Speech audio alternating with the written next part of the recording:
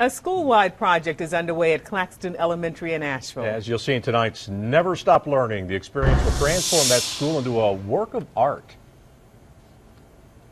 So some of you that had little people on your on your stones, you can draw more details with this small tip. Well, kindergartners at Claxton Elementary School are highlighting their stepping stones. Ginger is one of six local artists who's working with students to create an art garden.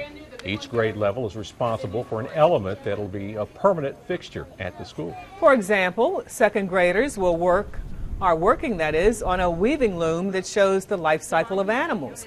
And first graders will learn about the planets and stars by painting the solar system onto outdoor tables. The kindergarten project teaches them about the different seasons like fall, a tree with apples falling off of it. Tell me about summer.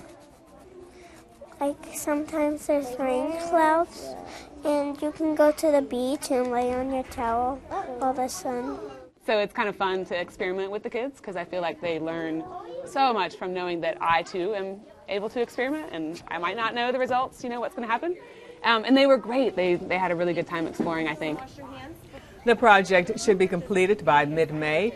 It's being made possible by financial support from the Asheville City Schools Foundation, French Broad Pediatrics, Behr Paint, and the PTO.